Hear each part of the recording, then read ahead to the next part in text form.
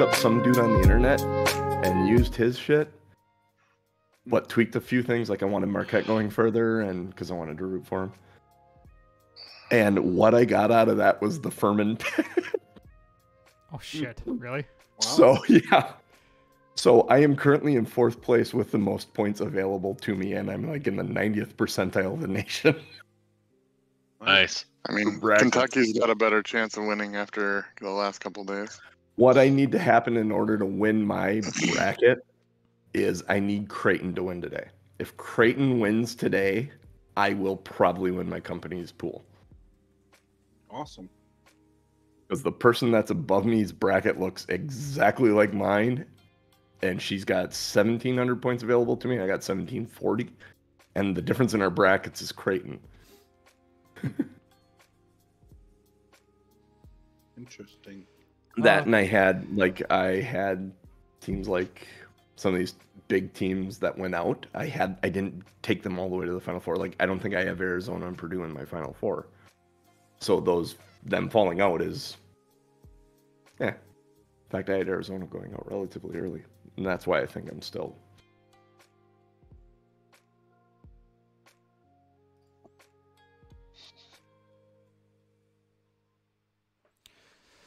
All right. Uh, hey Rick, do you follow the channel at all? Our channel, this channel? Nope, I had not. Okay. If you do, I can make you a moderator. Uh, And then that'll also get us to 69 total followers. So that's my ultimate goal. Nice. on, on Twitch. He's On referring Twitch. to. mm, How great would it be? Yeah. We had yeah, the- we are trying we to had the we had the fifth nerd to the podcast, and it's to get to sixty nine followers. oh, I want to make this full screen now. I don't know. Kaim, Um, are you following the channel? That'll that'll put us over 69. Uh oh. Rules bonuses. There we go. That's what I like to see. Um, Sorry, I'm talking to chat. In case you oh, weren't aware. Talk away. I don't talk to chat. I actually had discussion with people that you can't talk to the chat because I end up messing shit up. I can't have the chat up while we're, especially when I'm DMing, because there's already enough to worry about, and then I don't know what you're talking about. It's easy, John. It's easy. You're just you're just Superman. Says There the guy go. that barely gets audio right, much less four people on stream. And But he can describe a centaur cock real well. yeah, he can. Cause reaction economy.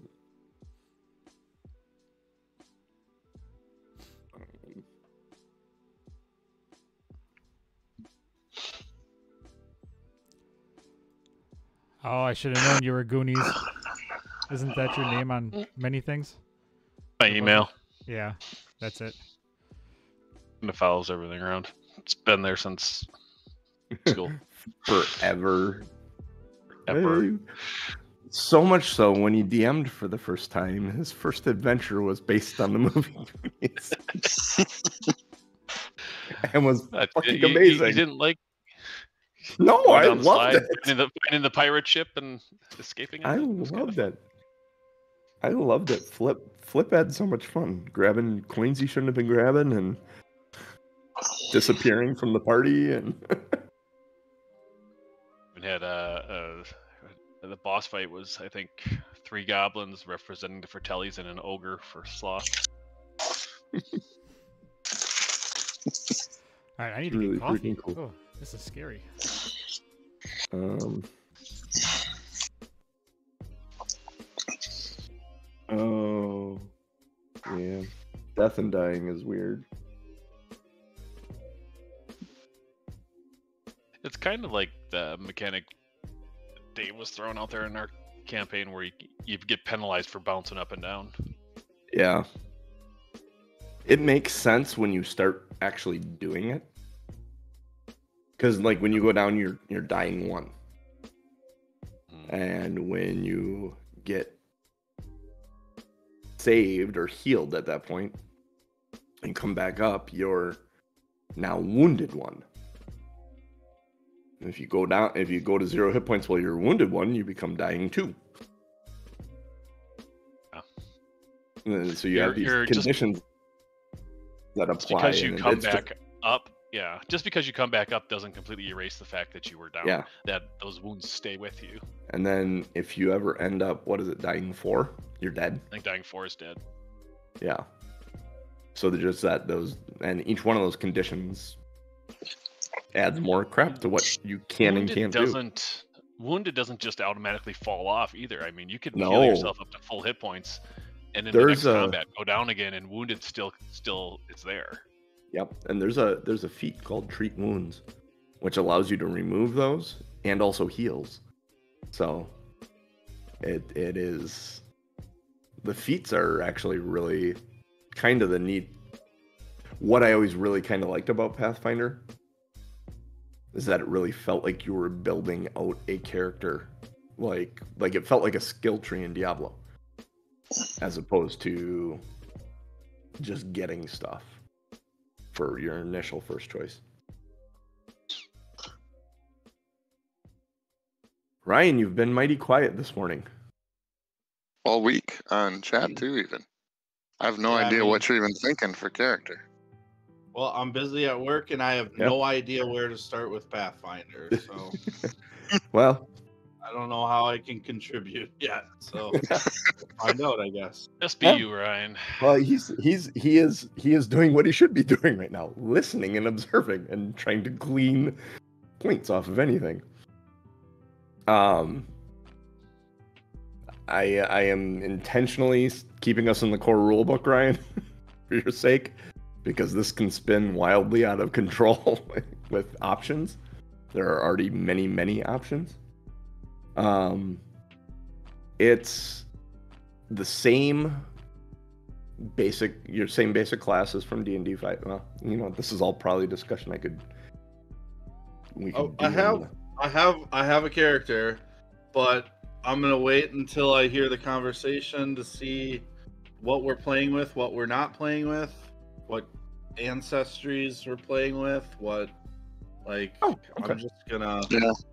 Oh, cool. I, I gotta ride it out and we'll we'll pick it when it's time. That's Cool. that's where Yeah, I'm at, I mean- Cooch.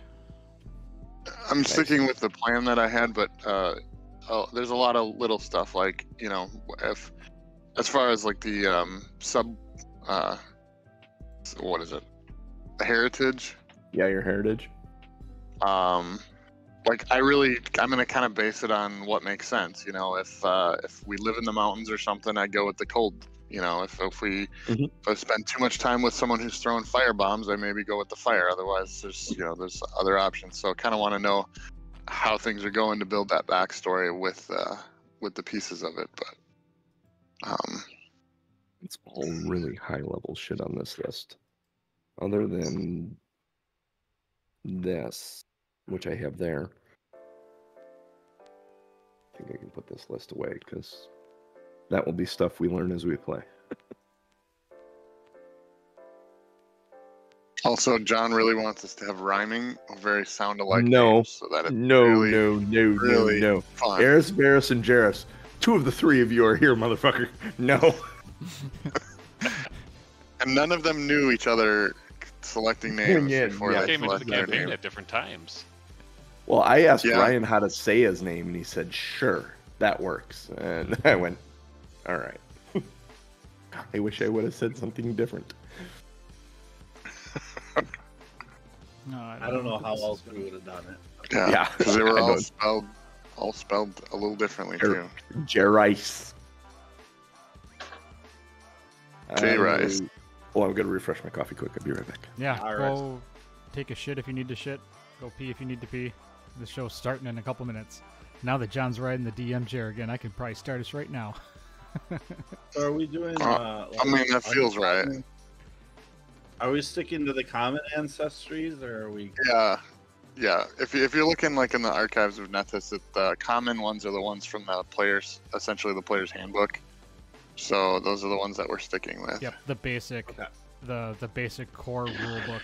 So there's like six, but then uh, if you look at human, you can actually get half elf and half orc out of them. I was just in love with the Kitsune, so Well, you can always beg the DM, and if you've got a Next good flavor reason.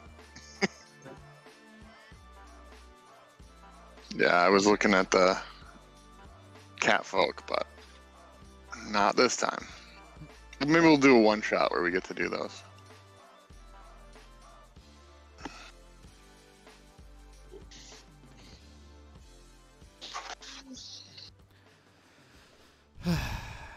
That's not gonna work. Note to self: I can't move quickly with this big ass blue coffee mug. It's more like a bowl, and like any bowl, it slops you sure really that's not a soup cup? Josh, it's my coffee cup. yes, it's a it's a handled soup bowl, but I use it for coffee. Hey man, you do you.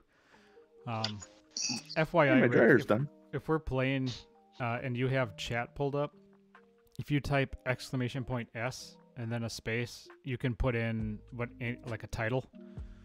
Show title. If Show someone title. says something dumb or funny or Yeah. So if somebody appropriate says for a show title. if somebody says pooptacular, you can put exclamation point S space pooptacular, and that'll submit it as a show title. Just like that. Yep. I will- is now a show title. I will usually um say someone show title that because I don't have the chat up. Or I will say that would make a great show title. And then there's a link I just put in chat where you can go and vote on them.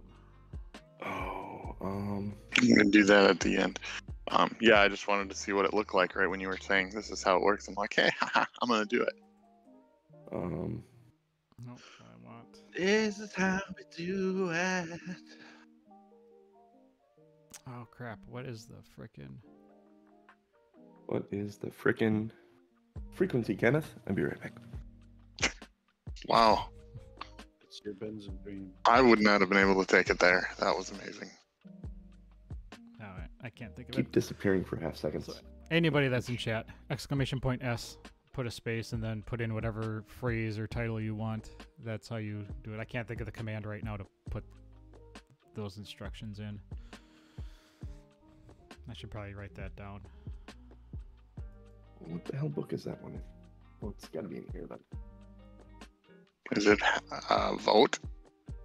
Huh, it works. Huh? Huh? Look at that. Oh man, he's gonna furt it right now, isn't he? just like that, Bert they were gone. Ah, he furted. Furt. What the hell?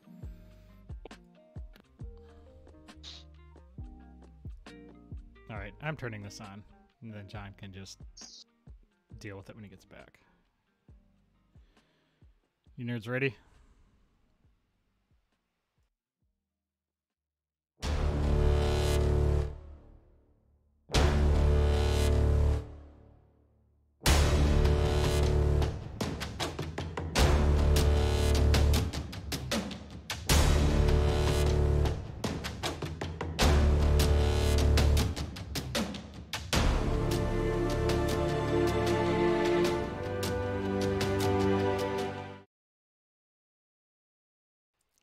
Hello, everybody. Welcome to another episode of Two Nerds One Quest. I am your host, Norm, and this is gonna be funny because John's gonna be surprised.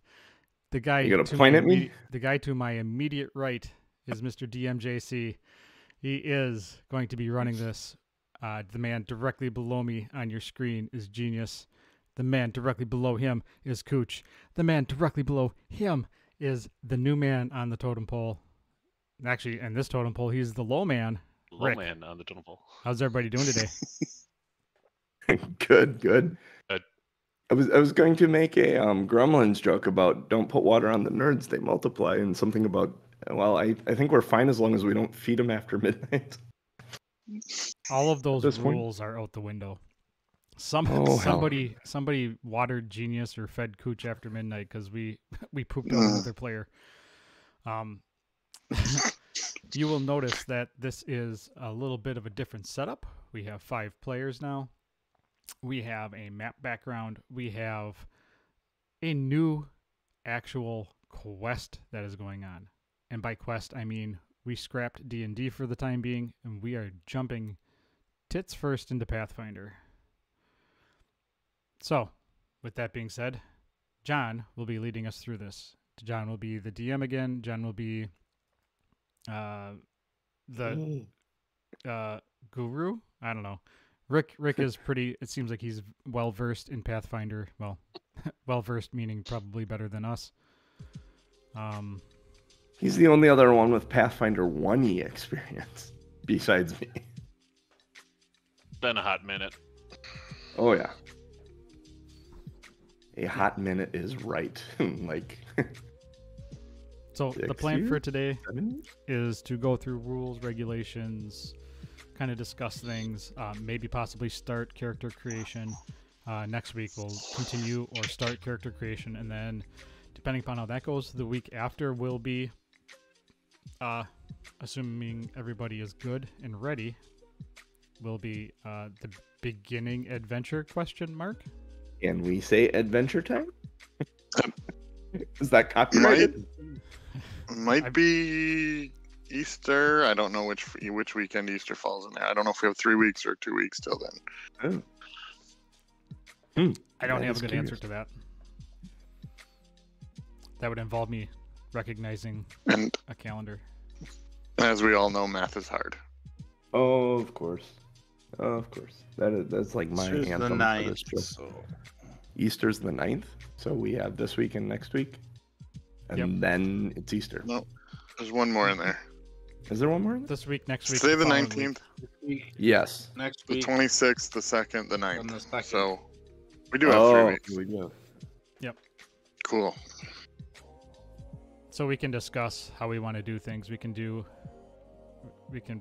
Well, we can discuss this off stream, but we can do rules today, character creation next week, uh, and then either start or do more rules talk if we want to. We we may we may talk about character.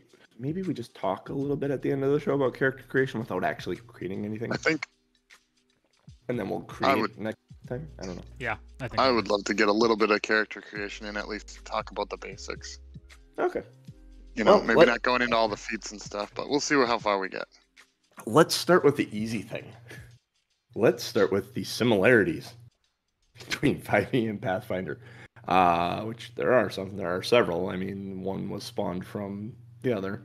Uh, actually, let's go to the backstory. Let's back this way up to a glorious time when the third edition of D&D came out.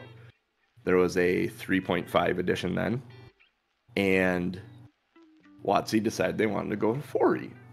When they went to 4E, they changed the system so drastically that this little company called Paizo decided they wanted to um, keep the same rules and just kind of tweak them for their own good using the open license. And they did, and they created Pathfinder.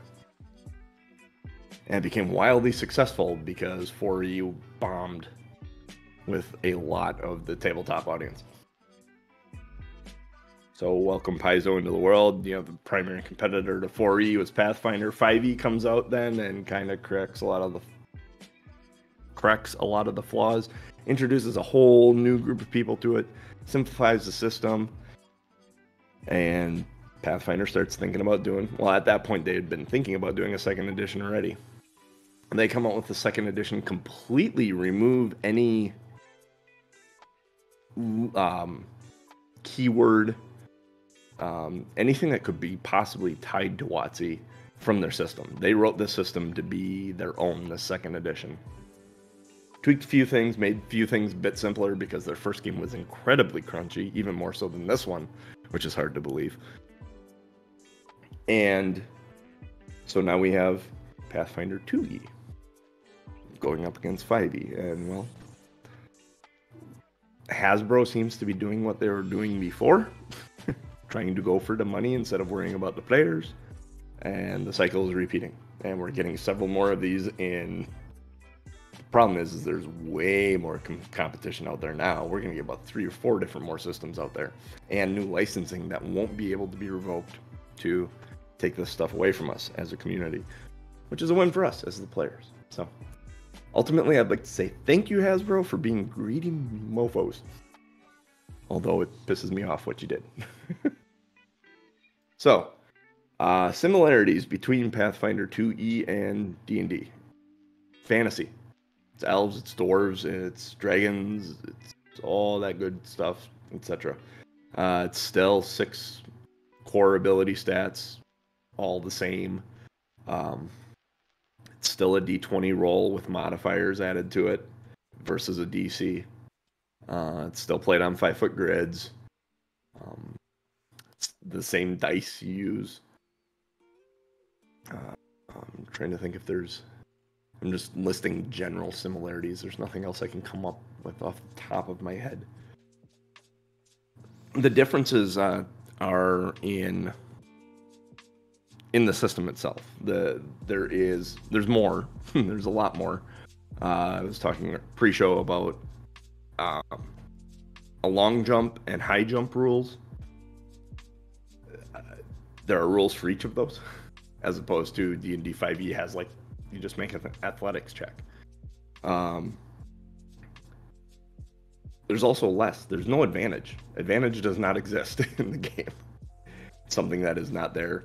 Um, and a big factor and a key factor and something that a lot of people keyed in on in this everything is free. All the rules for the game the entire game system rules are free on a website called Archi- archives of nethys. And paizo actually endorses the site and wants players to use this. They just want people to play their game. And they trust that their content is compelling enough that people will throw money at them if they're enjoying themselves, and they do. And when Hasbro does something like what they did, they do it in droves and drive them out of their stock and force reprintings of certain things, which the core rulebook has been difficult to get a hold of recently. Um. So when when we're talking about rolls, when you're rolling your dice and you're rolling your bonus, um, you get uh, bonuses to your roll. There are three types of bonuses. You get circumstance bonuses, status bonuses, and item bonuses. And you can only have one of each. So you can apply one circumstance bonus because if you had two different circumstance bonuses, they don't stack.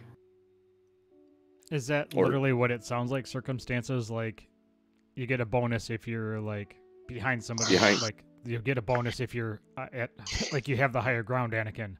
Yes. Or you're behind cover, or you've raised your shield, Mhm. or the, the whatever the circumstance is adds a bonus to the situation.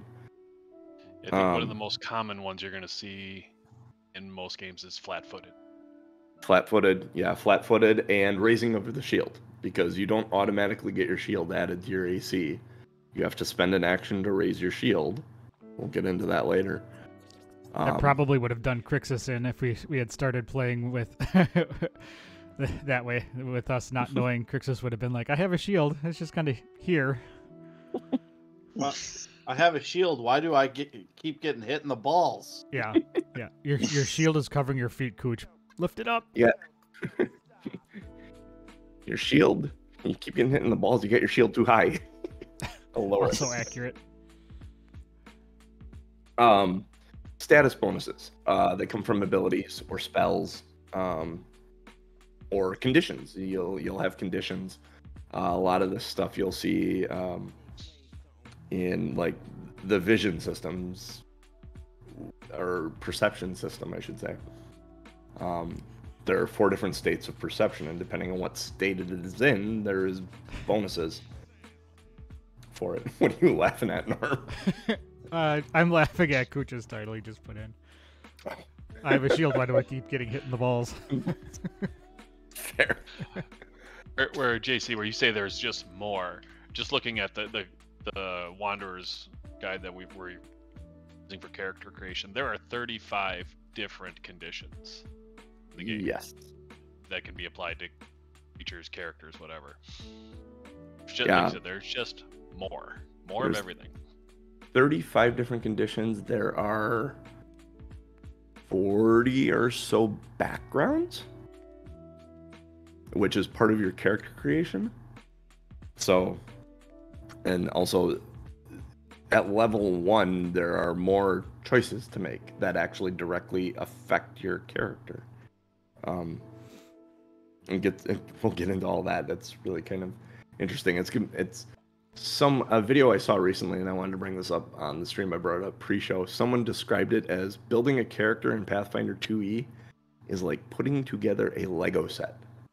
You are literally taking this piece, and I'm gonna put this piece in, and I'm gonna put this piece in, and I'm gonna put this piece in, and those are gonna be my stats then. Um, I like Legos. uh, yeah. The last, uh, um, so yeah, status uh, bonuses. The last is item bonuses. So you get a plus one sword. You get plus one to your attack and damage like you do in D and D. But if you have a plus one sword, you get a plus one to your attack, and you have a ring that gives you a plus one to your attack. You only get plus one to your attack. Those two don't stack. So it's an interesting thing to consider when you are carrying um, what magical items you want to carry around to get bonuses in certain situations. And these plus ones are all very important because of another big difference between 5e and Pathfinder 2e is their critical system. A nat 20 is not a critical hit, and a nat 1 is not a critical fail. They do have something they do, but they don't automatically crit hit and crit fail. The critical system in Pathfinder 2e is based on 10. You will know your DC before you roll the die. And if you are 10 over it or 10 below it, 10 over it's a critical hit, success, critical success. 10 below it or more, or more is a critical failure. Then, if you did roll a 20 or a 1, you would move it up 1 or down 1 on the scale. And that scale is critical success, success, failure, critical failure. Does that make sense? Mhm. And I'm kind of looking at Ryan here. yeah, I mean, wouldn't most of the DC you have to beat be 12? So wouldn't it be almost impossible to get a critical most circumstances? That's the that's the next uh, thing is the numbers within Pathfinder. We're going to where nor, your normal rolls you're used to seeing are in D and D. Like we all get amazed when like the rogue rolls a 38 on a stealth check with all the bonuses and everything. 38s are normal. Like rolls up into like anywhere between one and 50 is the scale of where rolls tend to happen within Pathfinder E. 2e. But John, how would I do that with a D20? Love you, Ryan. you still only roll a d20, but the bonuses uh, that you get, uh, your proficiency bonus on your skills, those proficiency bonuses can get way off the top. Um, instead of having a singular proficiency bonus in, like in 5e, each skill has its own proficiency bonus. And like anything you could have proficiency in has its own proficiency bonus. And there are four levels of proficiency. Uh, I wrote this down earlier. Here, there. Rick set them out for me and I wrote them down. It's trained is the first level, expert, master, and legendary. And that's a two, four, six, and eight point bonus. Now that's John. only part of your proficiency bonus. What? You totally missed an opportunity. Mastery and then legend. Wait for it. Dairy. I did. I did. I did. I'm rusty. I am. I am rusty. That and I haven't seen How I Met Your Mother in a few years. So I'm on my. my I mean, of course, I've met your mother in the last few. moments. Hey, oh, sip that coffee. Victory sip. yeah, I'm talking a lot. I'm thankful for interruptions here. If you guys want to interrupt me at any point, please do. I could. Th- I, I'll throw something out there for uh, as you're going Sure. through these, John. Uh, you talked about the plus ten, minus ten Yes. um, critical. Uh, in Pathfinder, on like 5e, critical hits are not just double damage, and critical failures are actually written into the rules. Where 5e critical failures were th- things some DMs would house homebrew or house rule, and if you rolled a one, something bad would happen to you. In Pathfinder, that's actually written in the rules. Uh, as an example, if you use the trip action, uh, any character can attempt to trip. It's based on your athletics check. You do an athletics check against the reflex save of the opposing character. If you critically fail that, you miss their DC by more than 10, you trip over your own feet and you, you yourself wind up prone. That's the rule. So the, you really got to be careful about attempting things that you're not good at because it can adversely affect you as well. Also, with critical hits, you double damage, but then like weapons have what's called critical specialization effects, and I think you have to. I don't know if you have to feed or you have to be trained to a certain level to activate those, but just looking at a basic dagger. If you critical hit with a dagger, it takes double damage, but it also takes 1d6 persistent bleed damage on top of the double damage.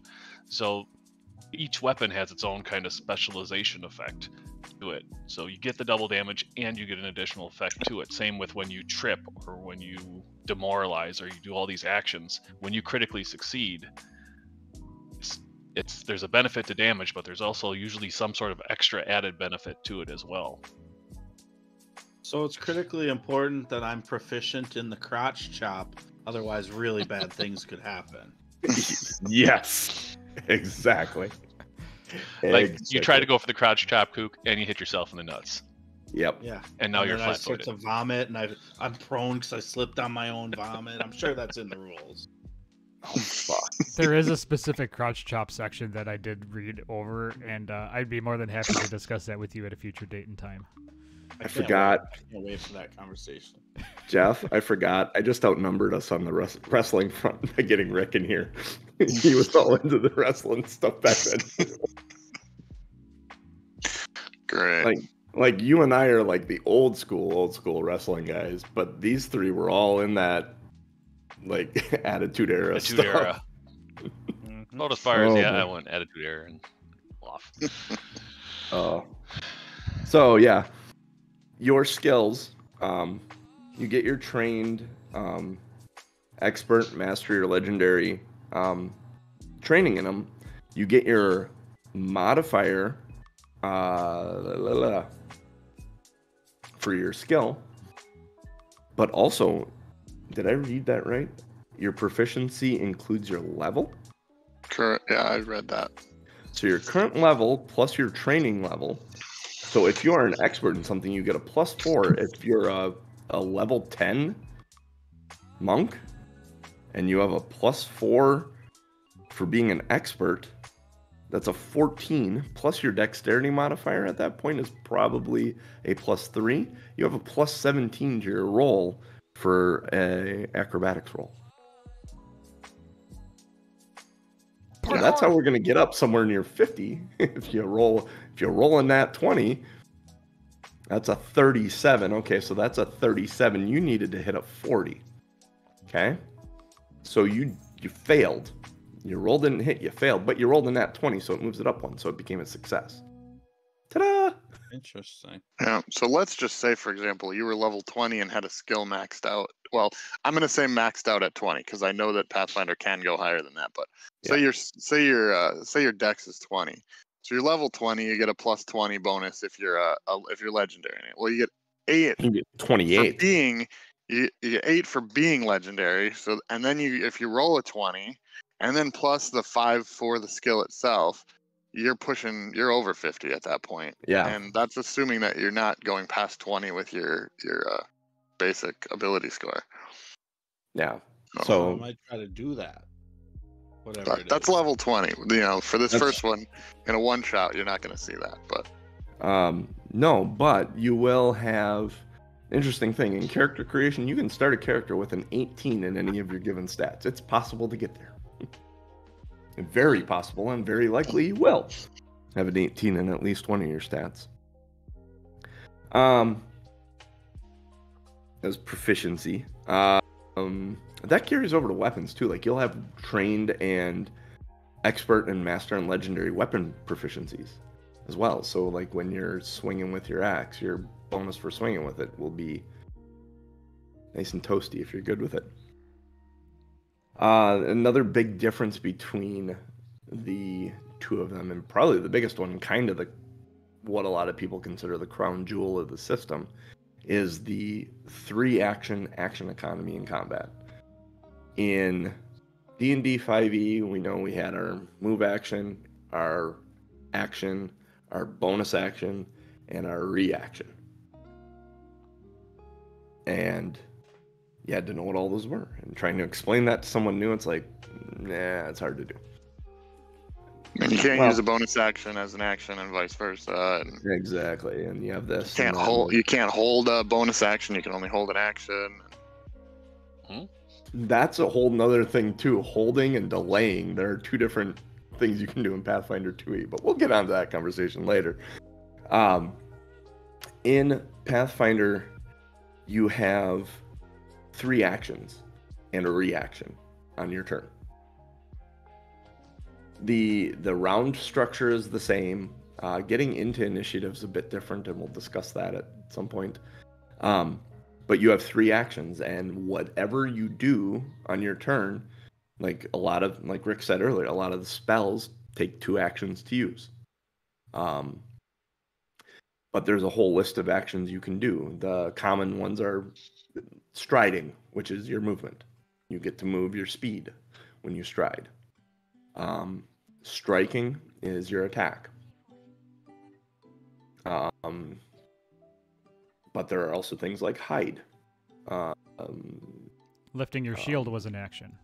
yes, lifting your shield, Like- dropping prone, interacting, leaping, seeking, um, standing, Trip, uh, jump. step, stepping, Yep. which is moving five feet without triggering reactions. Um, yeah, those are the big ones. Those are There's the a, ones. there's, on a, the- there's a fairly neat one you can do that's just called demoralize, and anybody can do this. Um, it, you can basically just shout at the opposing enemy and give them a minus one if you succeed on the roll. You just Yep. yell at you basically just yell at them and tell them how horrible they are, and they get demoralized and get a minus one circumstance bonus. And then there's an basically int- just like pulling it out and, and watching their face fall. Like Basically, oh, yeah, wow. you That's actually what, that's what I'm up against. Oh boy. point of order is you actually have to shout. And there's a feat that you can take that you can just stare at someone and get that same effect without saying Because if- anything. If you have to shout, they have to understand the language that you're talking to get the circumstance bonus. But if you take the feat, then all they have to do is be able to see you. Yeah. and you can get that same bonus. But that's a way Um, to use a third action. If you've used your two actions, for example, to do to cast a spell or something, you're sitting with a third action. You're like, well, I don't want to move and I don't want to do this. But something like demoralize is, is just a, a way to benefit your party with an action that you didn't really have a use for otherwise. Yeah. So if there there there will be moments where you go, well, I still have an action left. What can I use? I mean, worst case scenario, demoralize. Um, What if I wanted to attack twice on my turn? if you wanted to attack twice on your turn, Jeff, well, here's how you do it. Uh, your first attack is an attack. Your second attack on any given turn has a penalty of minus five. That's a circumstance penalty. Um, and then your third attack, should you happen to want to attack a third time, is a minus 10. Now there are feats that can change that to minus four and minus eight, and I think they can even go lower, a step, one step lower.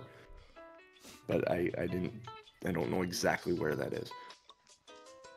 But And those again, remember remember the rules of critical here. Uh, you miss by 10, you critically fail. Something bad's going to happen to you. So and you're swinging them, and a third attack at minus 10. yeah, critically failing can can hurt. That'd be There. the best option to swing three times. Yeah. So uh, as an Oh. example, then I, I've got a character sheet open, just a generic character, and with the uh, normal attack bonus being plus seven, and the first attack gets the plus seven. The second attack still gets a plus two, but the third attack is at minus three. Yes. So you can see that that drops pretty quickly. And It's just, and it's not just attacks, and you know, this is or striking, I should say, the striking action. Yeah. Uh, there are other actions that are considered attack actions. I think trip may be one of them. I'd have to check. But like trip might, if if you do something that is considered an attack action, it has the attack flag on it. That counts towards the multiple attack penalty. So even though you may not be striking, you may be adding to that multiple attack penalty, and then when you do strike, you're at minus five already or minus ten. So you, you got to look at your actions and make sure if they have that attack flag on them, they're going to start adding up to that multiple attack penalty on you. And Yeah. does that work in reverse then? Does the trip, if you attack first and then trip, does that also get then the minus five penalty? Would if it's an attack, I can look real quick. Yeah, it is. It is. I, I, I looked at it. So- you have it. Uh, John, what you're saying with the minus four, minus eight. Kaim in the chat says uh, attacks with ag- agile weapons are minus four, minus eight. So it's, Yes. it depends upon your weapon type as well. Yeah. So that's if you have agile weapons, that's like using agile weapons in 5e in your offhand. You don't experience the same penalties. Which makes sense The- because if you're using something that is agile, that would help you in your dexterity and your wielding of that weapon. So the one thing I know you kind of brushed over with the movement, John, was your striding and your uh, what was it? Stri- Step. s- stride and step. Step. Um, the Yeah, yeah. stepping is very important when you're surrounded. I'm Yes. guessing because uh, you you you touched over that it it keeps people from reacting, so you don't get that that reaction, that reactionary strike. Yep. So that's the Let me that's really cool. We should, yeah, touch on that one. let me jump in there real quick. Uh, in, in Pathfinder, every creature does not automatically get attacks of opportunity. That is not a thing. It is a feat. You have to take it. So that really opens up the battlefield. You can move around freely, much more in Pathfinder. Don't feel like once you're engaged with an enemy, you're kind of locked on the battle map. We've all done it in 5e where you walk up to an enemy and you start swinging, and you're just okay. I swing. Okay, they swing, and neither one of you wants to move because you're going to get bashed with a reaction It doesn't happen in 5e as much. There are actually very few. There's only one class that actually gets uh, attack of opportunity automatically, and everybody else has to take it as a feat if they want it. The enemies are the same way.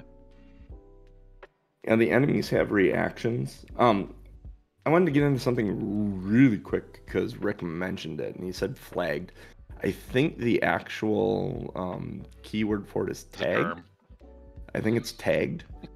Um, everything has tags. Like, um, I'm struggling to think of an example now.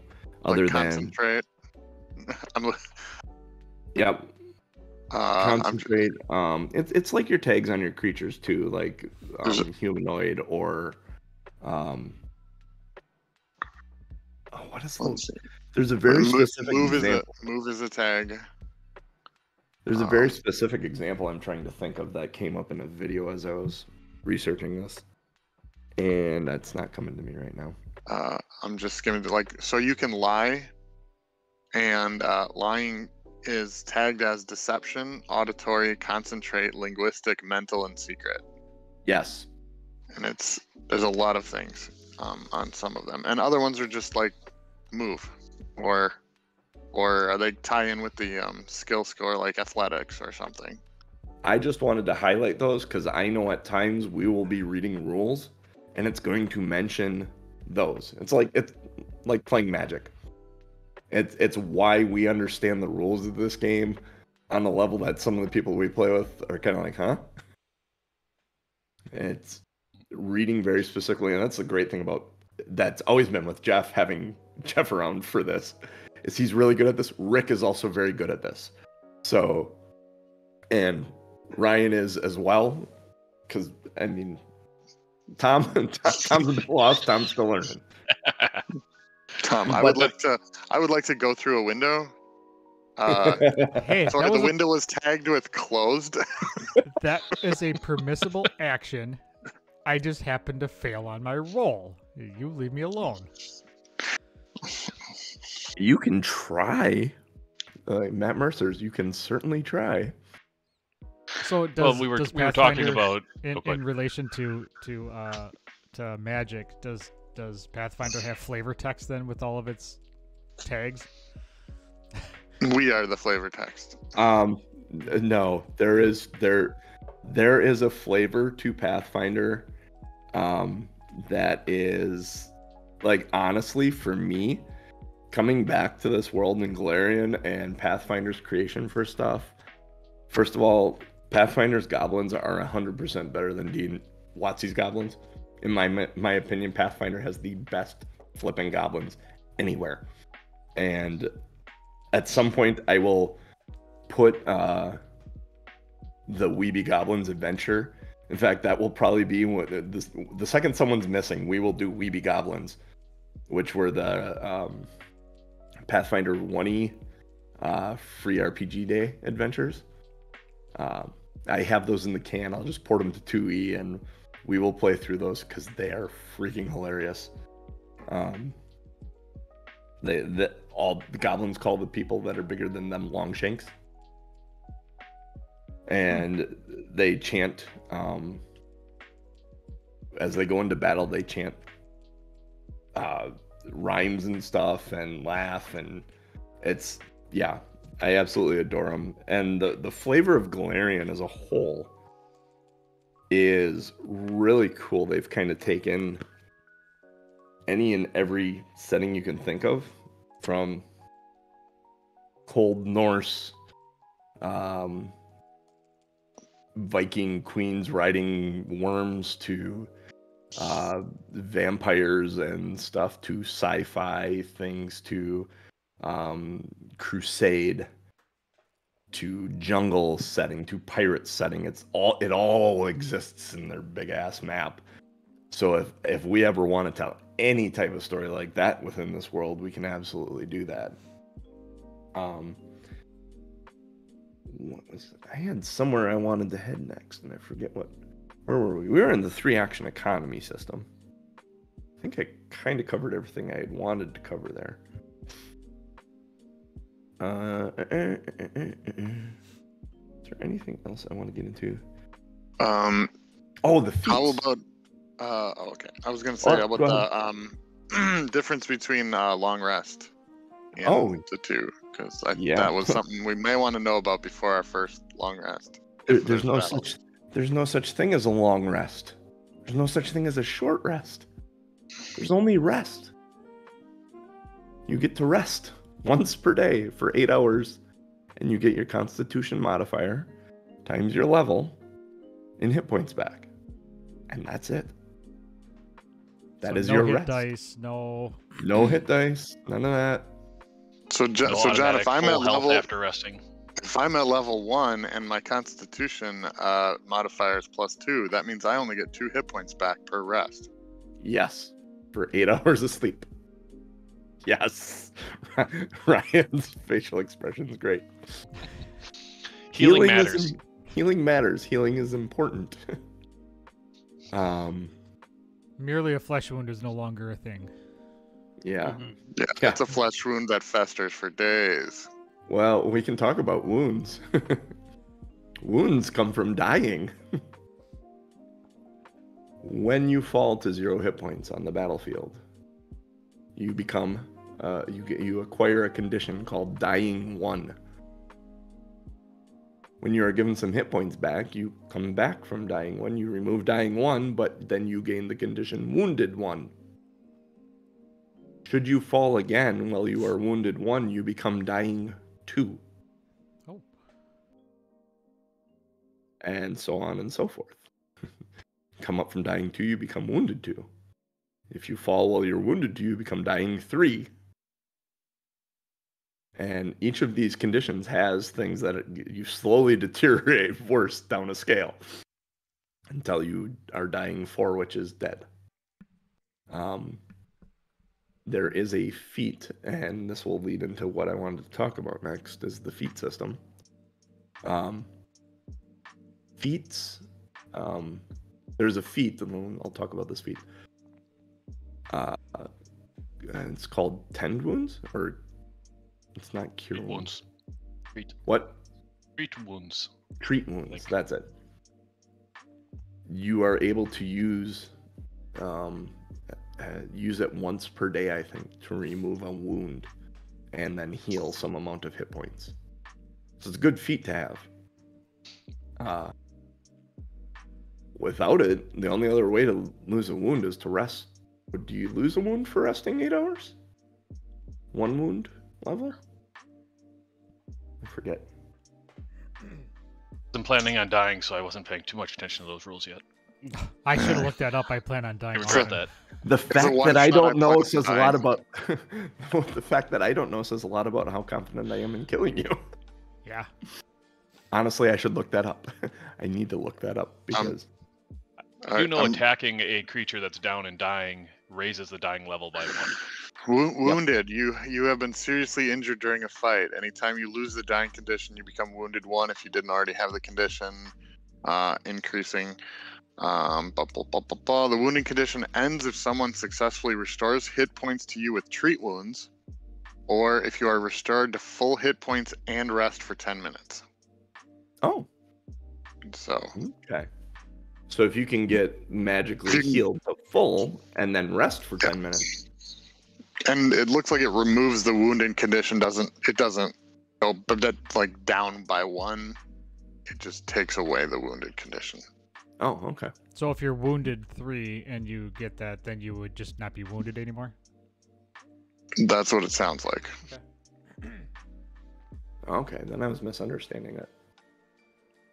And it's also So you're- mentioned in in chat that it uh you can also go dying two from crits, like dying three if you're already wounded one. Like so, if you get critted on when you're wounded, it bumps you That up an makes extra sense. an extra dying level, I guess.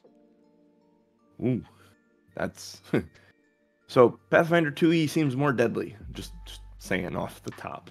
So it definitely feels more uh not as linear. Like listening to to these rules and instructions for Pathfinder, it seems more open world. It seems more like World of Warcraft versus like the original Assassin's Creed, which is linear. that would be a good way of putting it.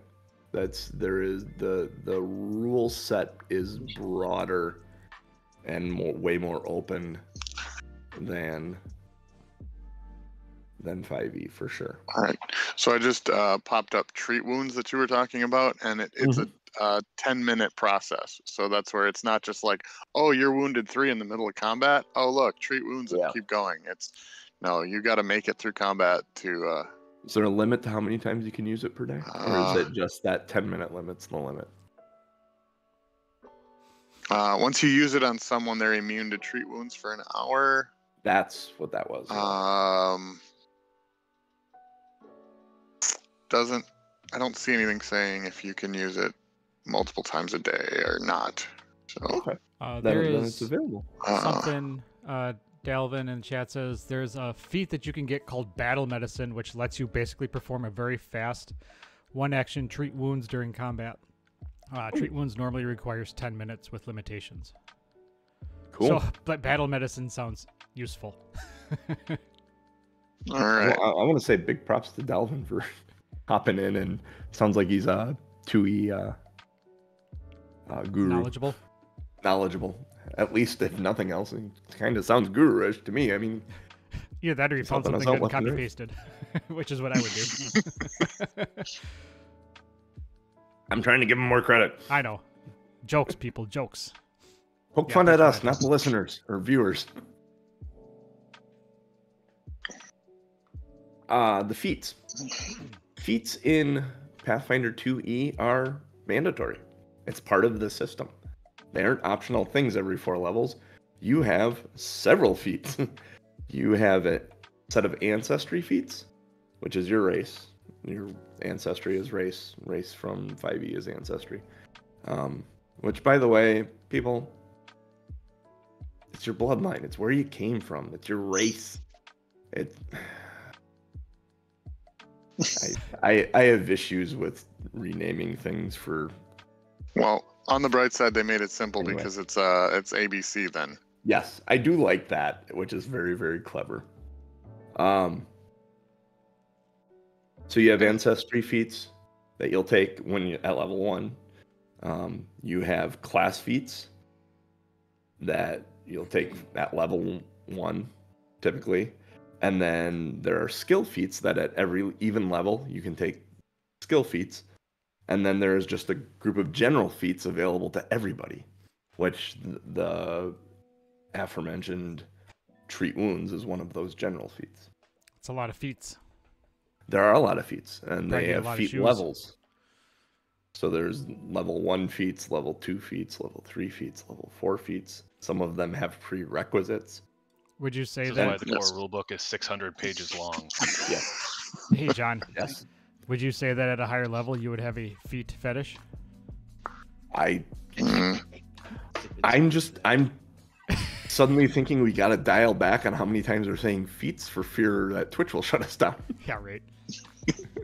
no, just don't show your just don't show your feats on uh, stream. Just don't show. Oh wait, oh wait, wait, wait. Oh hell. Here we go. I'm gonna get us banned from Twitch. Okay. Let me- find it. That's great. Let me find it. That's great. Do it. Oh no. Oh hell. Oh no no no no no. Yep. Here we go. I'm showing my feet on Twitch. Jeez. You went a long way for that joke. wow. yes, I did. Wow. Yes, I Did go a long way for that joke. Uh, Yes, I did.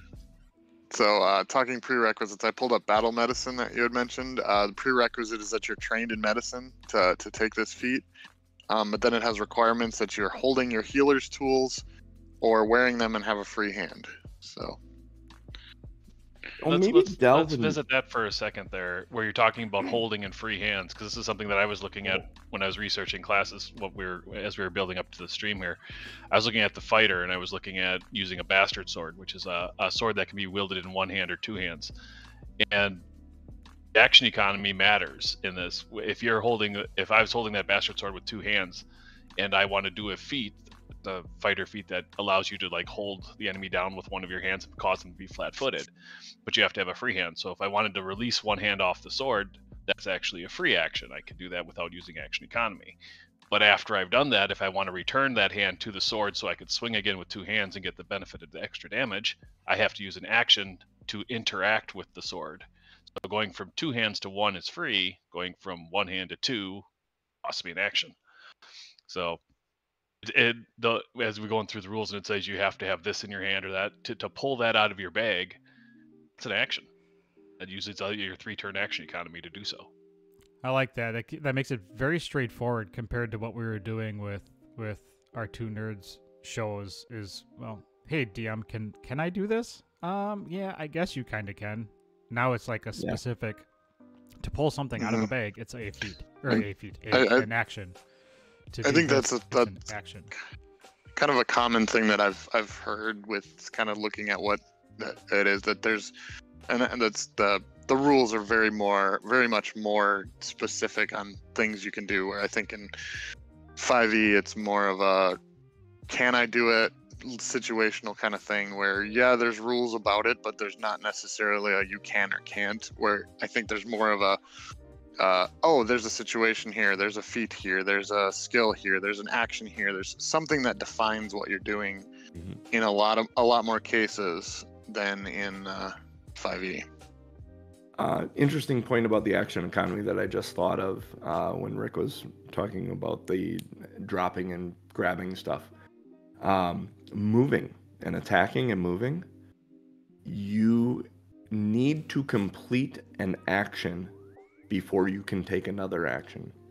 So if you have 30 feet of movement and you want to move 15 feet and attack and then move 15 feet, that's all three of your actions because you have to complete the first action and be done with it. So moving that 15 feet, you need to that action is over then. So you don't get to use the rest of that. That movement's lost at that point. So there's a bit more str- strategically moving amongst the battlefield there too. It's a lot of strategy. Strategery. Wow. yeah, he's one of us. He's one of us, folks. Like we've known him a while. High five, Rick. Oh yeah, for those I mean Tom kind of introduced him earlier. But uh, Rick was in my initial homebrew campaign with Ryan and Jeff. Rick was also on the Talking 1265 podcast with me and Tom. So Accurate. Been around. Um, I don't know that we. Rick, Rick and I went to uh, elementary school together, just not the same grade. Yep. Same. Same. I was there too. And Norm Tom, too. Yep. Tom was there too. So we've all known Elementary each school other. Bastards. Longer around for. Well, Tom and I went is to the same school all the way through, for, uh, first through twelve. And I've known Ryan since he was born. Yeah, well, Fact. that happens. So, uh, where was I? Feats, yes. Um, I was actually going to ask uh, if Delvin had clarity on this because the feats, I believe when it says feat one, that's a level one feat, and it's feat two is a level two, and like feat seven, you that will be at level seven. You have access to those. That seems to fit with what I was looking at. Mm. Yeah. So that's right. I, I believe that's right. I just started looking at them. I'm like, oh, But you can, I believe, and I haven't gotten too much of this because I've only been looking at level one stuff. But I believe you can, when you get level up, you can retrain feats. Yeah. Kaim So, and, and I'm not sure. say- I'm, I'm guessing there's a limit to that. Yeah, Kaim and Delvin say uh, correct, and a level four feat means that you need to be level four or more to take it. okay. So you just need to be at that level or higher in order to take it. So you could theoretically take level one feats the entire time, but they're probably not as good as taking a level seven feat at level seven. I don't know. Catfall sounds pretty damn good. Prerequisite trained in acrobatics. Your cat like aerial acrobatics allow you to cushion your fall. Treat falls as 10 feet or shorter. If you're an expert in acrobatics, you can treat falls as 25 feet or shorter. And if you're a master in acrobatics, you can treat falls as 50 feet. Treat them as they're 50 feet or shorter. Uh, Kaim Uh, says also uh, some feats scale. Ooh. So maybe if you take it at a later level, it'll scale up to your current level. Would be my guess. Well, that's the I question I mean, have. if you if you take that Scales level with your one, proficiency too. as you grow in levels, it grows kind of with you. So That that is cool. I'll, I'm digging that. All right. Anyone have any other questions?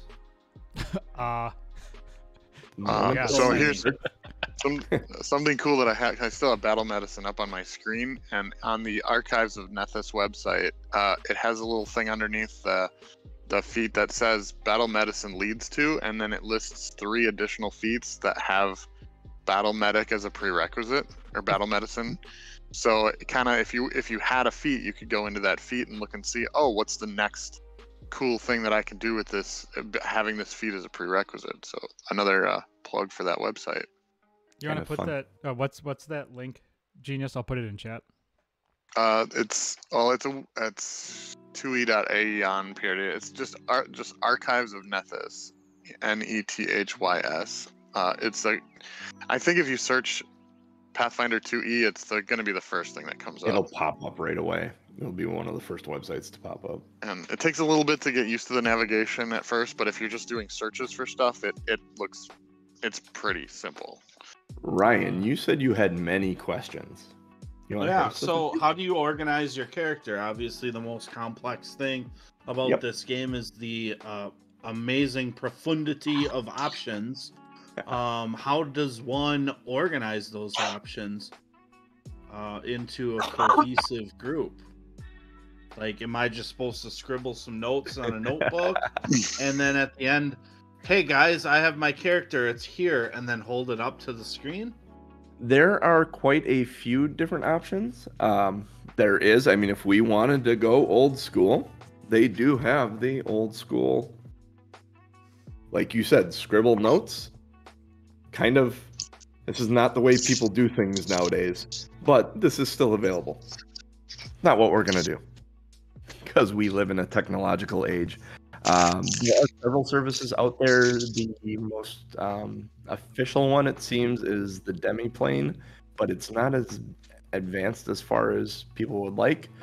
The one that I found that I'm going to want us to use is Wanderer's Guide, which is wanderersguide.app. It has the GM tools to have a campaign and encounter builder. It has the character sheet. It it is basically everything that D and D Beyond is for Pathfinder.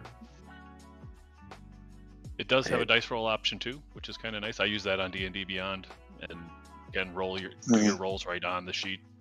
And having having made a couple of uh, dummy characters just to see how Wanderer's Guide works.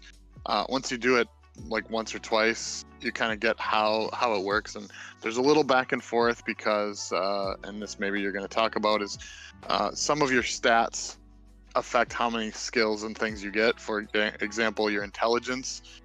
In the, the higher your intelligence, the more skills and languages you get which are on different tabs. So you kind of, as you're progressing forward, as your intelligence goes up, you might have to go back to like the language screen and, and select more or something. But uh, uh, there's a lot of the stuff looked like it was right in uh, the Wanderer's Guide.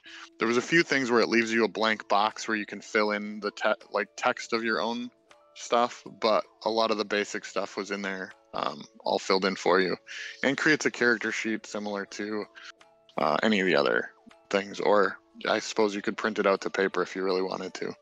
Yeah, I'm looking at Goat right now, and it looks. I mean, it almost. It almost looks exactly like.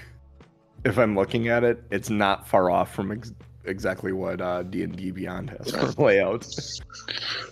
I did Like find I'm, out. I'm looking in areas for things, and I'm going, oh, all this stuff is. Yeah, if you if you're you know if you're making a level one character, the character sheets are not going to look very much different at all. Your your AC and your uh, a lot of your your bonuses are going to look very similar. I think at level one. Um, You have an Uh, actions tab, you have a weapons tab, you have an inventory tab, details about your character, notes. Um, all your skills are listed there. Yep. Your And- and, uh, are all listed. It's, and making making a character um, like the the things you can choose are in a pull down menu so you don't have to go through the entire list of everything when you're level one and you get to pick you know from your your uh, subclasses or your sub uh, sub race or your ancestry um, sorry your uh, heritage um, you don't have to just like you know pull from everything it, liter- it literally gives you the choices you can you can select from And something really kind of cool that I just noticed, Tom, in the GM tools, there's a Discord bot for fetching content from Wanderer's Guide via API and properly displaying it and formatting it within Discord. Oh, perfect. I'll So if you wanted to uh, poke around with that once we have the campaign set up, I'll take a look at that, and I'll I'll take a look and see if I, I'm kind of hoping there's a Pathfinder, uh, like with with the D and D Beyond, there was a module for Twitch to where you could hover over the screen and take a look at our character sheets Mm. live while watching.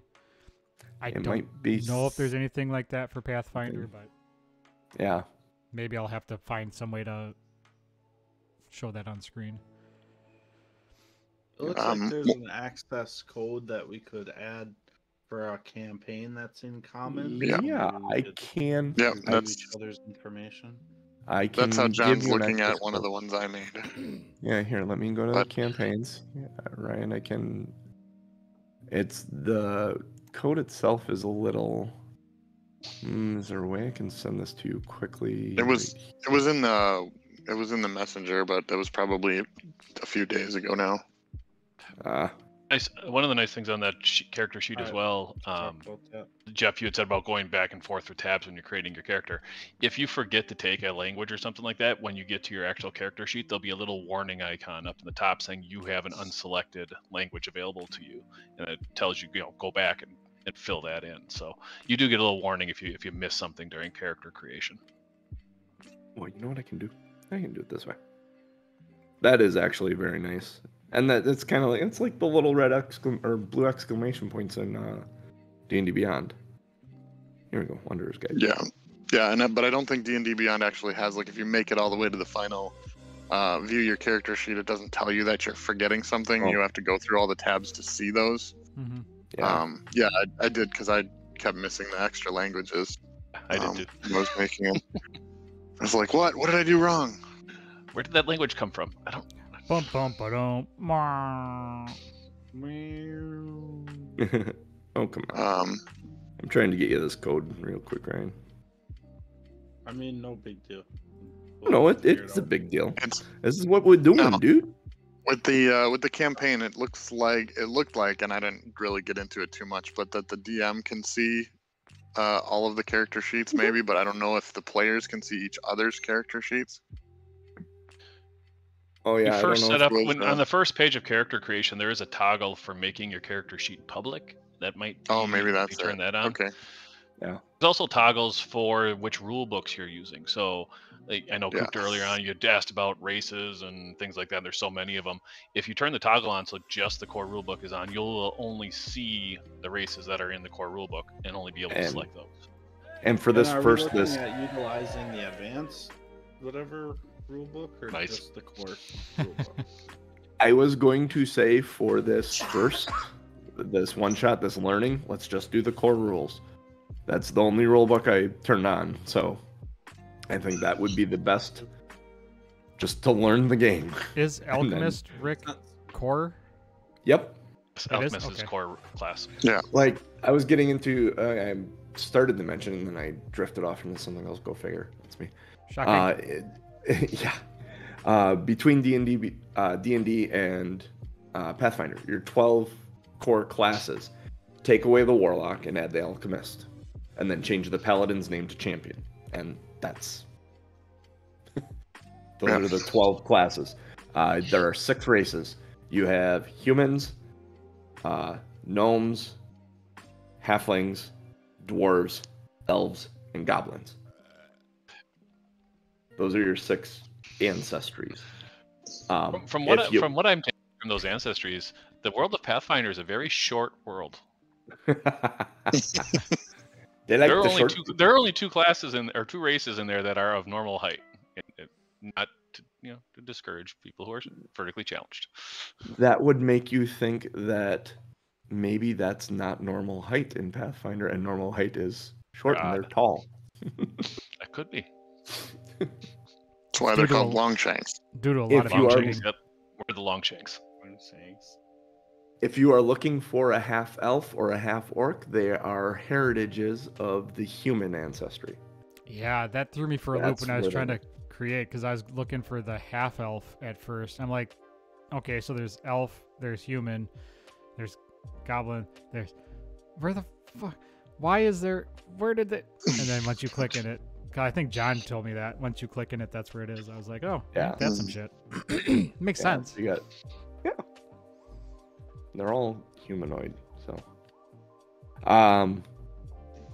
With all that being said, I know Jeff and Rick have been extensively chatting about what they're going to do with their characters for this open introductory campaign, which has me Yes. very excited because I, like I said, I, Fire. l- I love Pathfinder goblins. So, and that kind of spills the beans a bit. But would one of the two of you like to take the ball and mention your character concept to begin with?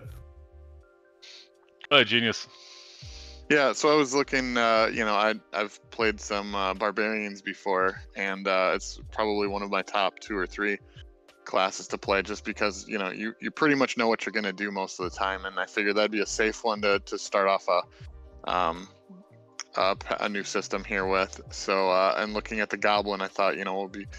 You know, goblins are small typically, so I figured like, what if this goblin was like a jacked goblin? You know, everything pumped into strength and and con and kind of just your your a, a tall beefy goblin that really doesn't have much for intelligence and so i kind of was going down down that path and uh still trying to figure out exactly what he wants to do but i uh have some pretty good ideas uh and then uh rick said uh he had an idea and i thought hey that fits kind of good with mine Yeah, I'm uh, I just concept of of playing a, a goblin who's just an edge about everything, you know, like hopped up on caffeine all the time, type edgy, uh, a little bit paranoid. Probably people are after him and walking around with a sack of bombs. Just sounded like fun. So. Uh, I'm, I'm definitely looking at, at playing a, a, a artificer bomber here or alchemist artificer. I'm going to my three five E again. Alchemist bomber, Omblid. So you have some you fun with that. basically made Junkrat and Pathfinder. Yes. Yep. Awesome. Well, then Jeff, when you when you said Raistlin and Caramon, I, I went, okay, sure. But now that like that reference came back to me now, and I'm like, oh yeah, holy hell, yes, this is Yeah. old old Dragonlance reference. But Raistlin and Caramon, except they're goblins. Yeah. yeah. My uh, you know, my motivation is uh I, I'm hanging out with uh with uh, Rick's character because he makes things blow up and they're shiny and loud and I like shiny and loud. Um and he's probably using me as kind of a uh, bodyguard or something, you know. See so you he as can- useful. He's Yeah. using you for the plus two circumstance bonus of putting you between him and Yeah, yeah.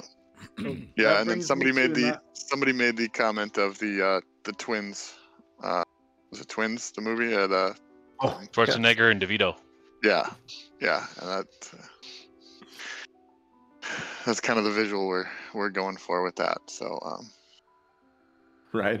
Oh, yeah, that brings me to uh, another question that I have generally is how do you quote unquote roll for statistics or do you You don't how do you organize your character sheet in that way? Um, you don't actually roll for st- statistics. The first step is you set all your stats at 10.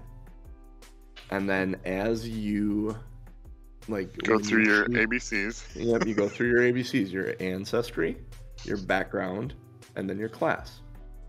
And your ancestry will give you you will have a um, bonus to certain things, and you will have flaws to some things. And a flaw is a minus two, and a bonus is a plus two, or whatever it states. Yeah, it's plus two, plus plus or minus two.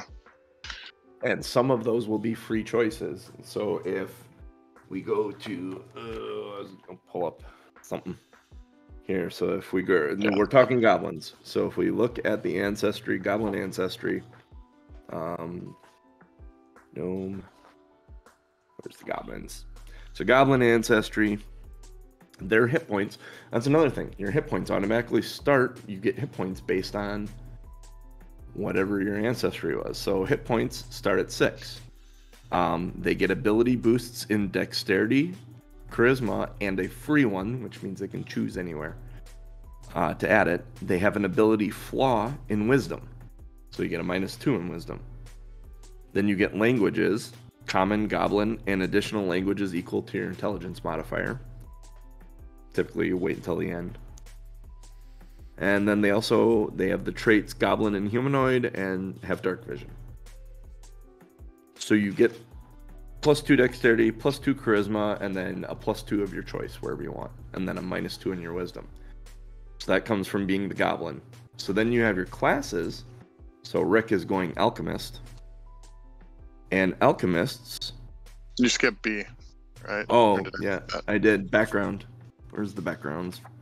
Ooh, So, background. like for for example, uh, background that I um, decided to choose was um, barkeep. I think. Barkeep. You have five Sure. specialties hefting barrels, drinking, polishing steins, drinking, and drinking. Yeah. You worked in a bar where you learned how to hold your liquor and a rowdy and rowdily socialize. Choose two ability boosts. So you get to choose two more ability boosts. One must be to constitution or charisma. And the other one is free. Got it. You're trained in diplomacy skill and the alcohol lore skill. And you gain the hobnobber skill feat from your background, from being a barkeep. How do you determine what is like your DC skill, for example, like in like in 5e? So for example, if I pick well, I don't know, a cleric, how would I know what my my skills are based on? um as far as what what to- your Generally, your uh, your class gives you that automatically. Um, some of them you get to choose, um, but your class typically will give you that. It, so it- let, let here to answer let's your question, with Ryan, it doesn't sound like you know your athletics is based on dexterity. Like I don't think it it says that directly in when you're creating your character because I created one. Like I don't think you're gonna have to worry about about what what thing you're rolling for is dexterity or strength. It's just gonna be you're gonna be trained in it, you're, or you're gonna be an expert in it. It's just you're gonna have that in front of you. Um, so it's not gonna matter whether it's a strength check or if it's a this check because it's gonna be a straight up lore check. It's gonna be a straight up athletics check, which you know, you know what I mean? Does that make sense? So if you if if you look at the cleric specifically is what you asked for, the key ability is wisdom. At first level, your class gives you an ability boost to wisdom. So it's and some of them you get to choose between like a, I think a fighter might choose between dex and strength. Um, and I maybe rogue does something like that too, but most of them it's it's set to one. Um, and then I'm assuming for the spell casting classes, that's the one that sets your like spell casting DC, the equivalent to. Very very similar in that regards to 5e, and and actually the ties to stats are almost the same. I think uh, wizards are intelligence, sorcerers are charisma, clerics are wisdom. Uh, they're they're pretty much just mirror the 5e counterparts. Okay. All I guess The hopeful. one difference, I, Your- one difference I did, stats. one difference between the two games that I came across looking at this uh, is saving throws. There's three style saving throws in Pathfinder 2e as opposed to the six that we only ever actually used like three of them. it's 5e. Sometimes they got into maybe using a fourth one. But you have a fortitude save, a reflex save, and a will slave will save. Slave. Basically, willing a- slave. Yeah. Basically a constitution save, a dexterity save, and a wisdom save. Remember when we first started playing Ryan, I kept saying will save instead of wisdom save? Yeah. This, this is why. Um, uh, while you're on that topic, perception it was a, in 5e is a normal skill. Uh, in Pathfinder, it's a it's kind of a separate uh, separate thing. Perception's a big deal because when you roll initiative, a lot of times you use your perception skill. oh, let's talk There- about initiative before we close up shop here, because that seems like Oh. something we'll need. No, we'll we'll get into that as we're learning the game. Okay. I just wanted to focus on uh, a, little bit more character concept. Do you have a character concept, Tom? That you're doing for a character, what you were thinking? Not necessarily. I'll figure that out over the next week, though. Yeah, you have an idea, or you kind of know where we're. We kind of have half the group set. Yep. Sounds like Ryan's leaning cleric because it's something familiar. Yeah, so I'm gonna have a I'm gonna have a human cleric. I'm really impressed with the uh, functionality of a cleric world. I want to be a spellcaster, and um, in my research, it seems like, um, well, and based on your guys' communication today, healing is really critical. We thank so you. I don't want to miss out on that opportunity. So, um, I will be a heal focused um, cleric with a lot of uniqueness, and I'll get into that as we go into character building. Oh, Ryan, I love you, my fellow cleric, taking the healer. All right. So we have a cleric. We have a, a barbarian, and we have Barbarian. an arf, artif, arf, artificer. You know what that lines up for you to be, Tom? Going 5e again. Rogue. Rogue, rogue, or Yeah. ranger. yeah.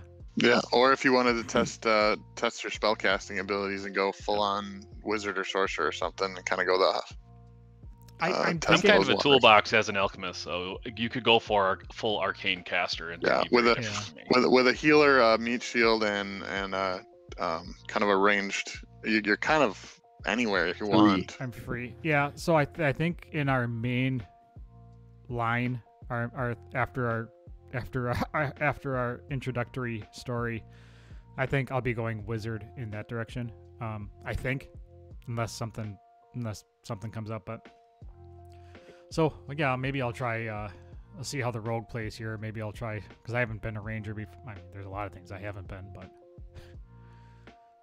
I've been there. I'm writing down classes so I can read them. So- Um, do you want to give us uh, just a brief? Again, maybe this is for everybody. A brief intro of not what our characters are, but basically what you intend this uh, one shot to be like. Uh, as far as we're in a certain location, we have a certain place we're from. We're all, you know, like with the main campaign you were talking about, transplanting characters from the TBD world into Mhm. that. Um, but can you give us a little like what what we kind of are gonna expect as far as you know when we're setting up our little backstories and stuff, kind of a where we're from and what we're doing, so we, um, not to get into the adventure into our individual characters, but just kind of a, a general sense of things. Yeah. Well, this this uh, the beginning adventure is going to be the adventure out of the beginner's box, which I found as I was reading it really actually teaches the game pretty dang well. So it's uh, Menace under Otari. Otari is a city on the um the island that also ha- it's right in the middle of the map of um Golarion. Brain farted on the name of the world. Um, that houses Absalom, which is the capital of Golarion, the biggest, biggest, big all biggie city in all the world. This is a small offshoot in it on the other side of the island. This whole adventure is basically going to take place. Um, one of the locals is having an issue with a uh, um, with I forget specifically what it is. Let's just say there's a menace. It's got a There's pest nu- problem. There's a nuisance. There's a pest problem, and lo and behold, oh my goodness, trophy! It leads to a underground tunnel system below the city. Cool. So we're looking urban big city, Th- this We're- is actually this is small village. small village. Okay. Small village. And kind of my idea behind all this is going to be to introduce you guys to this little village. And that this will kind of be the in point from like when we transfer. Because the whole idea we're staying with folks is we're keeping TBD they're they're planar hopping baby. And they're going to import into Otari and there's a very similar organization within Path, the world of Golarion and Pathfinder, um, to what TBD is, and there may be either some joining of forces or butting of heads, as TBD eventually will set up in Otari, and who knows, maybe one day, possibly expand into Absalom. So basically, what you're telling me is you're Wizard of Ozing, Wizard of Ozing this shit. A little bit. There may be reasons that um, that TBD's looking to get out of town. Probably has nothing to do with any of the bullshit we've pulled over the last 30 years. And the, the kind of the kind of neat thing about this is, and Reka, and tying into our bigger storyline is you've played in Golarion before, so some parts of Golarion will be familiar to you. You will be the most familiar with Golarion out of the four of the you. So Jeff kind of put it on the table that maybe when they bring people in from TBD, you'll be the person they contact The First. local guide. the local guy. Maybe you're the one. Food for thought. Maybe you're the one that owns the establishment that they will buy from you, or rent from you, or take over from you. Maybe you're like broke as a joke. I don't know. You can play that how you want it, but somehow you're from Otari. You're from Golarion, and they will come through. That however they get there, and we'll get into that whole story business eventually. We can have some discussion on how you if you Yeah. want to do that or how you want to step into that depending on how you want your i mean i can make it work if you don't want to be the person that owned anything or is giving anything and you just maybe you're a trusted friend of that person Or maybe you're from uh, the Sword Coast also, and uh, you just you as a player get to help uh, John with Yeah. the lore. yeah maybe maybe you were the emissary from omen saying hey um this buddy's gonna this is my this is my representative making sure this shit goes right and of course shit's gonna go left because you're playing hopping Of course. I for that campaign, It's I've these three- narrowed it down to, to two characters, and they're both rogues. So I'll uh, talk to John about which one makes more sense.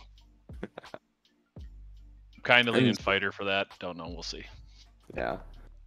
And so Ryan, if you want to bring anyone with um any of your characters you played, all of them that you've played, just let me know for flavor wise who who's all coming along because it's going to be an expedition party.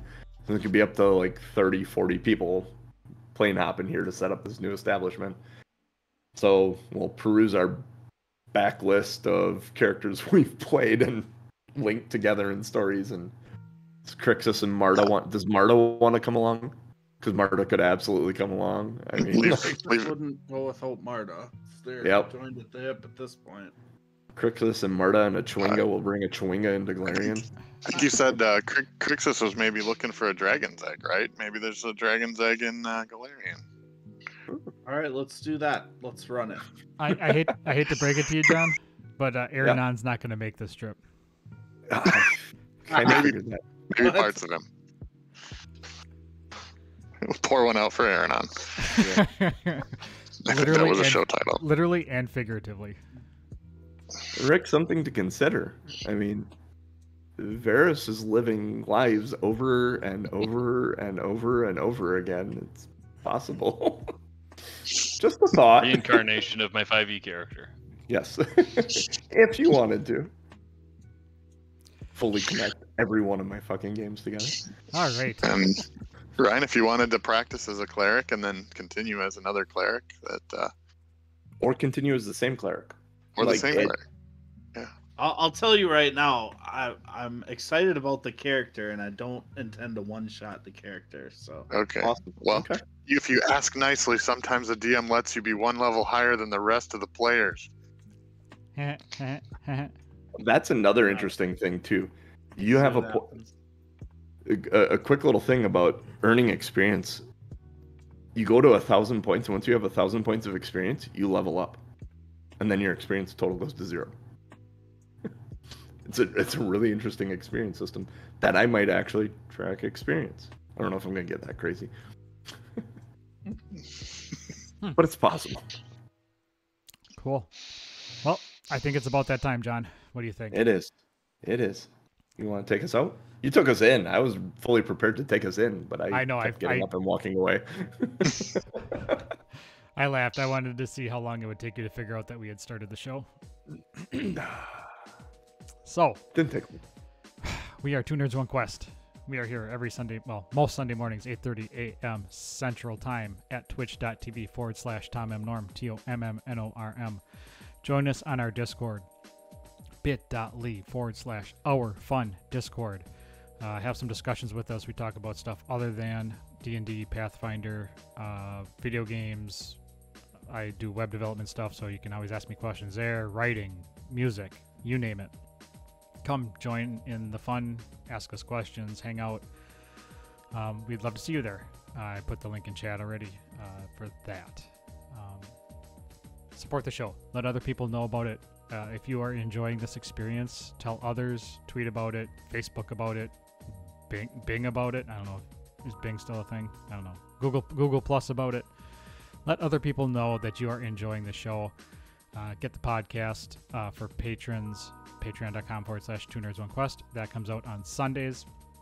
The free podcast for all to enjoy that does not have the pre and post show content comes out Wednesday mornings. So be sure to get that. And We don't want you to miss an episode because, I mean, it's not like you can't figure it out and, you know, rewatch the VOD. Uh, VODs, on the other hand, go to YouTube after they disappear from Twitch. Uh, so usually within within a week, the videos go over to YouTube. Videos stay on Twitch for about a month. So there's multiple ways to enjoy this show. But if you join us live, you get to chat with us, and that's the fun part. And submit statement. titles. And put in. Oh yeah, and if And you vote are for live, titles. you get to vote for show titles. So I'm gonna put that link in chat, so that people that are in chat right now can go and vote on our show titles. Uh, and with that being said, for me, for JC, for Genius, for Cooch, and for the newly appointed Rick, I don't know. We'll figure that out. we'll catch you next week. Gotta give him some Get nicknames. 'Em. Rick roll 'em. Oh, jeez. That's hitting the post.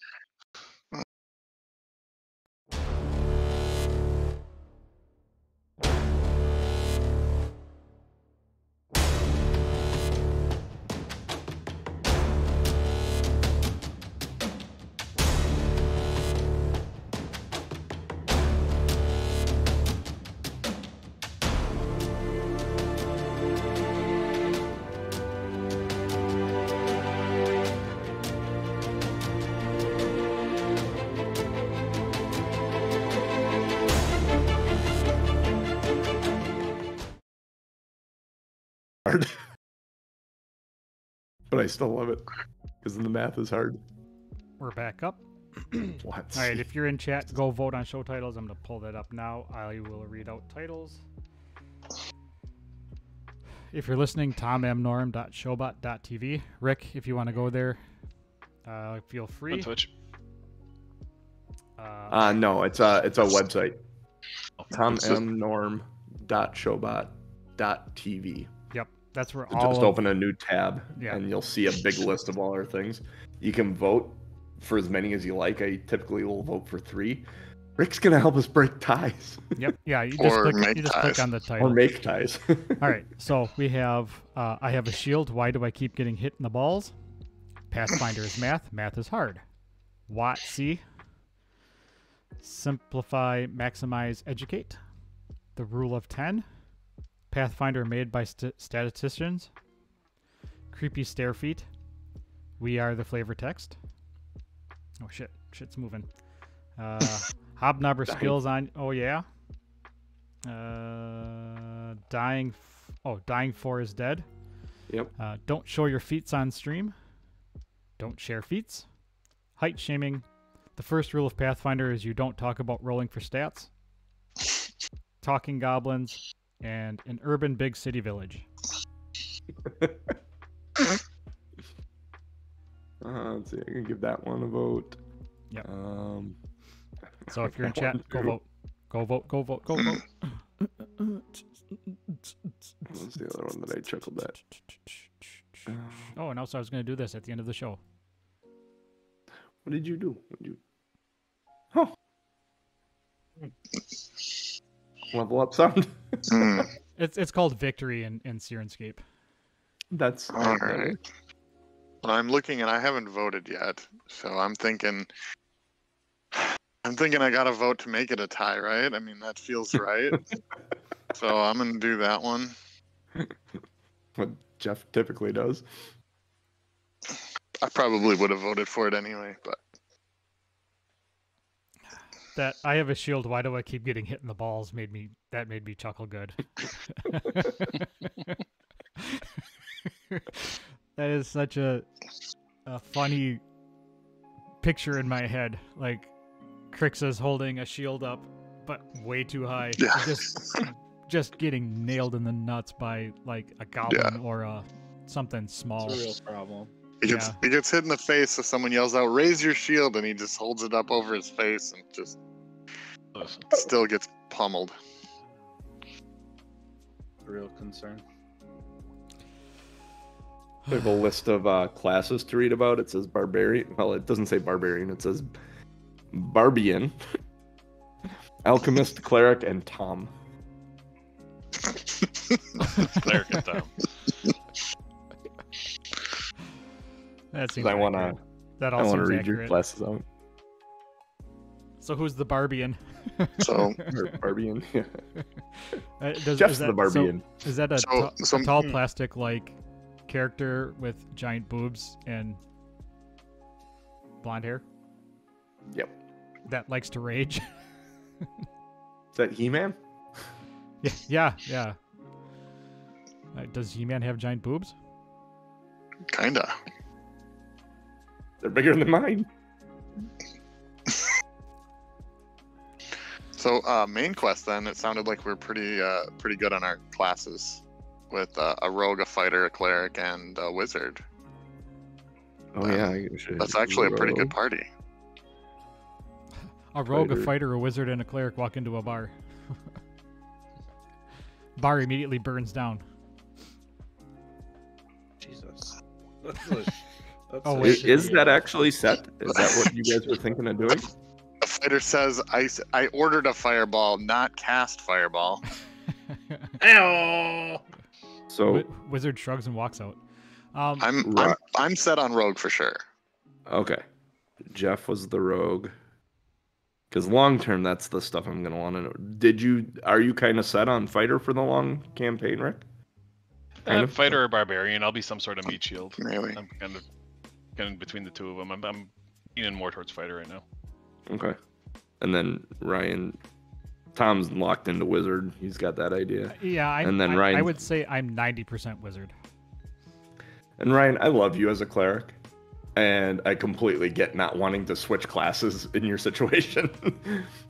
Yeah, I mean, on by the time I go through creating the lore of the character in my brain, I'm I'm just like I'm not really interested in swapping it out. So Yeah. And maybe, hmm, maybe I could kill some of the at the end of at the end of the one shot, and have the cleric get out. Oh, so we're all just utter now, huh? For Ryan's character building. Fodder, fodder for lore. Oh, hey, Suddenly- maybe that'll be my character. suddenly my character fodder. looks across the field. No, He's gonna have Oh, giant get you. John, just just for if I do switch characters, it will be for another caster. I just don't know if I want to stay with wizard or sorcerer or. Okay. But I'm, I'm thinking Uh, wizard is probably what I want though. Yeah, we're we're just read the magic section of the book because magic's weird. Yeah, I'm gonna have to do that. spell casting is different. It's very different. That's I I wasn't a spellcaster necessarily in any of the five E stuff.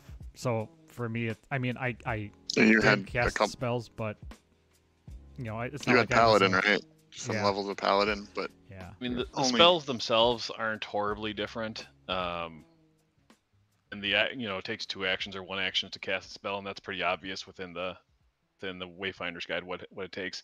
It's the prepping. It's the daily prep of your spells and what you have available to you that is very different between the two systems.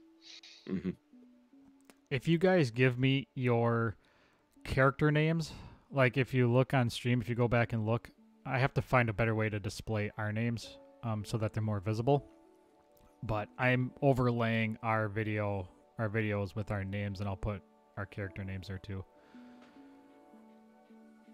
Instead of instead of taking up a lot of real estate like I did in our previous three years with extra uh, frames and all that mhm. I'm trying to save some some room and so that's if you if you see something if you go back and watch and you see something that you want me to tweak or add or something let me know You ready? You ready? but I, th- You I think this Ready? is a good setup I think we have a good visible stream I think Is we that our underground map for our adventure? first level. of it, Yeah. You, you know I'm gonna watch the playback and uh, blow that Yeah. up. Just gonna, just gonna have a handwritten sketch of, of what John just showed. I mean, technically it's the beginner's adventure. It's probably pretty easy to find. So Mm-hmm. Like I, if you wanted I'm to go find it, pretty find it. sure it's in that giant list of zip files you have Yeah. Yeah. Um, were you able to get Rick into that list? oh I probably need to share that folder with him huh Yeah. It, it, um, yeah, Oh, we that got a bunch of text to me. we got a bunch of well, we got a bunch of PDFs of stuff that you can. so peek did up. we uh, did we end up with a winner for show titles yet? Or or No, we got a two. nice big tie. Pathfinder Yeah, is nice math and math is hard, so and then I'm don't show your on stream. Because I am who I am, I'm gonna do "Don't Show Your Feats" on stream because it's my title, and if I have to break it, I'm... sorry, Elkin. I like your title, but It's just a steadfast rule. If Tom needs to break a title and one of his titles is in there, he votes for it. ah, not necessarily. But the, the, the "Don't Show Your Feats" on stream has probably been in multiple multiple episodes over the last three years. There, there's some history with that in this yeah. show. John's foot fetish and I nearly got I nearly got us uh, banned by putting my foot up on the table at one point. yeah. Yeah, all, all of that is accurate. I think that went very well having the fifth person here. Um, we did minimal. There was only like once or twice where I went, we're kind of getting on top of each other, Mhm. and that's something we'll have to be cognizant of in those moments where we're all laughing. Uh, if we all try and talk, it's gonna it's gonna get jumbly, Yes, that is very Um, accurate. and that's when it happened. Honestly, is when when we laughed about something and we were all saying something. So, it's not the worst moment for that to be happening. It's actually probably the best moment for that to be happening because it's not affecting the game at all. All right. But th- I think that went very well. Uh, this group meshes very well. Rick, you you you slide right in like you've been here the entire time. So That's what your mom said. I, I've I've adventured with you with Kukta and Jeff, but haven't Yeah. adventured with Norm before, so that'll be new. yeah, but you've d- you you've done enough bullshitting with Norm that this I've done enough bullshitting with Norm, yeah. that that that scene isn't. It's just it's sewn together already. So Yeah, All accurate. I do like the jams rolling behind rolling behind us, Norm. I must say. Well, it's jams for today. Just wait till we get into an actual adventure, and then Yeah. It's we not so jam. I like creepy to do cavern music. I like to do music when we're just chatting pre-stream, post-stream, and then once we get into the episode, I do have uh, uh let's see here, hold on. A couple of settings. There's tavern. There's Oh, I have yeah, I have tavern ambiance. I use Syrinscape. combat. So oftentimes I'll do Dungeon Depths and I'll play this. yeah, severe PTSD from that music. Yeah, that just makes Jeff, me you think have of the horror. flashbacks? Uh, I'm a rabbit with one hand And holes in your ears. and holes in my ears, carrying around a naked woman. And let's see here. This is kind of a cool one for Yeah, all the episodes are out there, Ricks. If you ever wanted to go back and check them out, I've got them cataloged somewhere, so you can we can find the specific episodes if you need to. But yeah, John's Halloween thriller from a couple years ago. That was one where I just kind of wanted to. They had nothing when they began, and they began in chains, or we were naked. Yeah, yeah, we were it naked and was afraid. Chains. in, in a in a claw. dungeon, and the first thing they saw was a pit and the pendulum scenario in front of them. kind of All fun. right. It doesn't look like there's anybody for us to raid right now. Dunaway usually tends to come on around this time, so I've been kind of stalling to see if he's gonna pop on, but Uh, uh, he is not. Like like last week, within three minutes of us going offline, I think he popped on. Hmm. But all right, that's it. I'm gonna shut the stream down, and uh, I gotta get going. all right, bye, Oh, chat. okay, See you next Thank you. week. Thanks for Alright, all the new people popping in. Uh, it looks like they're ya. out already, but Yeah, I was gonna say there was some